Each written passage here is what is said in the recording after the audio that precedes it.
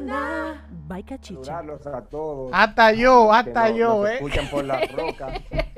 Es que lo mucho hasta Dios lo ve. No, no, pero verdad, Así se es. están pasando. Adelante tú.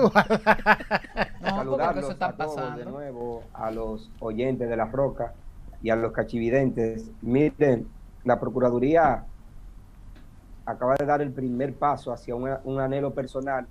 Yo que vengo desde hace décadas proponiendo solamente tres centros para los internos, tres centros a nivel nacional, con Pero videoconferencia para las causas, eh, eh, por pabellones, distribución por pabellones, porque tú no puedes mezclar a un falsificador con un narcotraficante de drogas, por ejemplo, a un asesino con un, con un menor.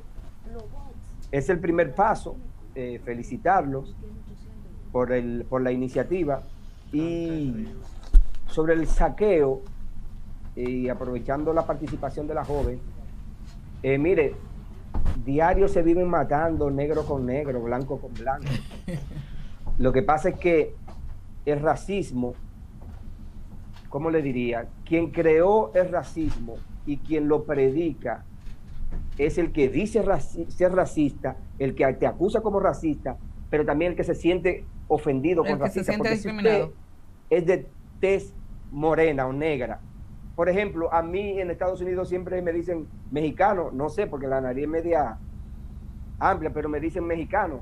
Ya tiene un concepto de que la persona de mi tamaño, de mi color y mi porte es mexicano. Yo no me puedo sentir mal por eso. Ey, eh, criollo, ey, dominicanito, dime a ver, ve acá, usan expresiones de nosotros, ¿qué es lo que? Pero yo no me puedo sentir mal por eso. Yo no me puedo sentir mal por eso. ¿Qué pasa? El que habla hoy de racismo, que no llame al 911, porque en esa ciudad y en la mayoría de ciudades va a venir un blanco a atender su llamada. Entonces han tomado este grupo de, de delincuentes, que va a ser una de las bases para una reelección de Donald Trump. Él está esperando el caos, está dejando que se fomente el caos, que continúe el caos, para entrar El Salvador. ¿Y quién es que salva? Salvador. Porque, óyeme, usted aprovechar esa coyuntura para, para vivir de- del sacrificio, para explotar el sacrificio ajeno. Usted entrar a, un- a una tienda que está hecha a base de préstamo, de una inversión familiar. Usted entrar a una farmacia, a una bodega, a, a saquear el esfuerzo de otro para que eso termine en los puntos de droga. Todo eso que saquean terminan en los puntos de droga. Entonces ya esto no es marcha, esto es un saqueo. Y le están dando razón a Donald Trump. Ahorita entra El Salvador y escriban eso. Va a entrar El Salvador y, va a resolver todo. Ya en varios estados me han enviado de Providence y otros sitios que está la guardia en las calles. Esperemos a ver el resultado. Sobre la, la exposición ayer de los tres candidatos, ¿Cuál fue la mejor, Eh. la, cuál fue para ti el mejor debate? El, o la mejor exposición de los tres. Para AIRD fue Lu- Luis Abinader, sin duda. Para lo que quería escuchar AIRD, la Asociación de Industria, Luis Abinader eh, sacó de 100, 120 puntos. Sin duda alguna. Eh, pero para lo que quiere escuchar la población, Gonzalo Castillo, eh, sin duda ahí ganó todos los puntos.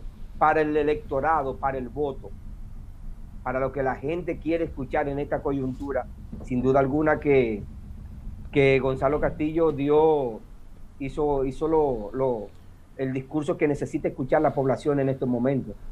Acuérdense que estamos en una crisis, estamos en un proceso donde usted invirtió dinero, donde usted tiene un negocio, donde usted tiene una MIPYME, eh, ahora tiene que volver al financiamiento para relanzar el negocio. Entonces, el discurso para la Asociación de Industrial, de Industria, yo creo que Luis Abinader fue excelente. Habló, le habló a ellos.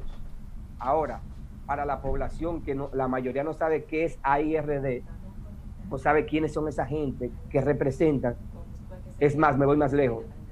Los intercambios de que iban a hablar, la mayoría fue por WhatsApp. Mire, va a hablar fulano, porque es como que no se comercializó, como que no tuvo esa, esa promoción, digamos. Y la mayoría de gente lo estaba viendo, pero no sabe, no sabe quién es, es, es esa institución. Entonces yo creo que Luis Abinader habló para esas personas para ese, ese sector económico. Gonzalo Castillo habló para un discurso genérico, para el votante, para el pueblo, y Leonel Fernández dio siempre va a nevar en Montecristi y va a haber bajo cero en. Siempre habló de nanotecnología y se fue por ahí, lo dejaron, no sé cómo no lo controlaron, no sé quién le escribió el discurso. Dijo Víctor que él mismo, que él mismo. Tocó el tema de la minería, ya ustedes saben los memes el día de hoy, lo han visto todo. Tocó temas ahí. Para usted hablar de nanotecnología, biotecnología, usted debe pasar primero por la ingeniería textil, debe pasar por la ingeniería en estadística, que no tenemos porque tenemos zona franca. Entonces tú hablarle de biotecnología, ¿dónde están los profesores? ¿Dónde están No, y, fíjate ¿Para algo. dónde a estudiar? Fíjate algo, Stuart, que, que el presidente Tu mañana. Bye, cachicha.